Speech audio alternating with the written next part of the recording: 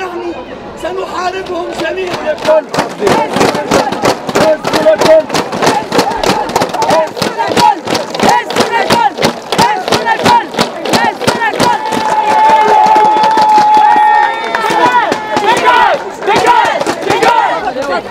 اليوم بطاقة إيداع بالسجن في حق الصحفي زياد الهاني لأنه قال كلمة حق. في حق الصحفي مراد المحرزي وليد زروق وهو نقابي أمني. وراء القضبان كيف كيف؟ لأنه قال كلمة حق. ومازال تدور على الناس الكل. نور الدين البحيري يريد أن يسكت كل الأصوات في تونس. لا. لا. فليعلم نور الدين البحيري ونذير بن عمه. وزير الرش علي العريض ومن وراهم الإرهابي الغنوشي أن الشعب التونسي اللي حرر البلاد هذه من دكتاتورية بن علي لن يخضع الدكتاتورية الدينية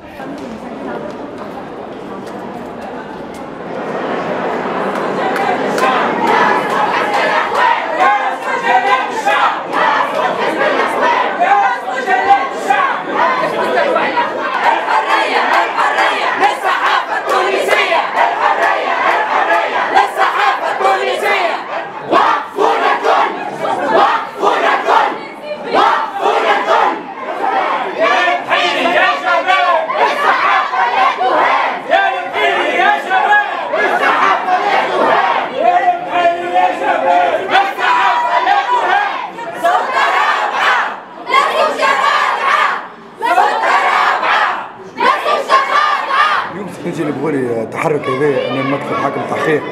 العديد قد يذهب إلى اعتباره أنه آه، ضرب لاستقلاليه القضاء ومس من استقلاليه القضاء. هي مواجهة التعليمات مواجهة التعليمات مواجهة تخريب القضاء مواجهة استعمال القضاء كعصا ضد الصحفيين وضد حرية الرأي والتعبير.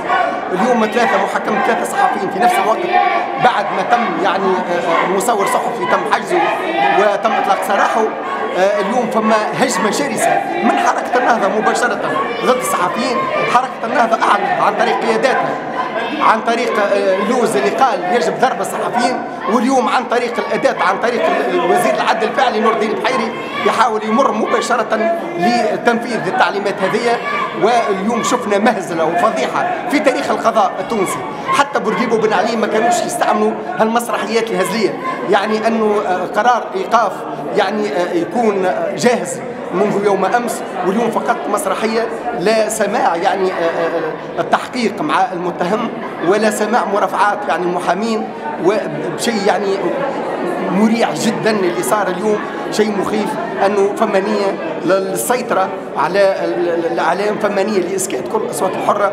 ما اليوم كل الناس اللي تعرضت للأحداث تحدثت على الأمن الموازي لحركة النهضه كل الناس تحدثت على مفاد فساد في الحكومة الحالية أنه يتم استهدافها.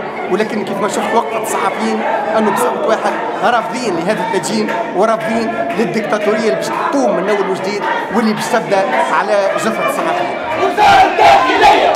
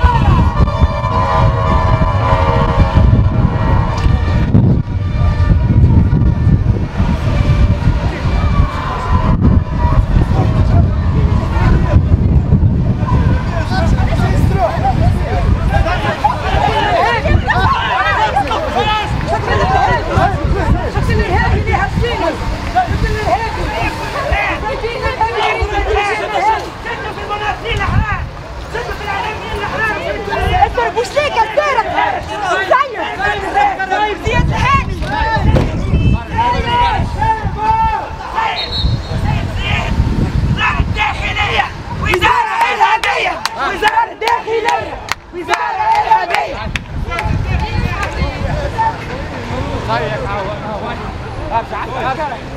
Dá-lhe! Dá-lhe!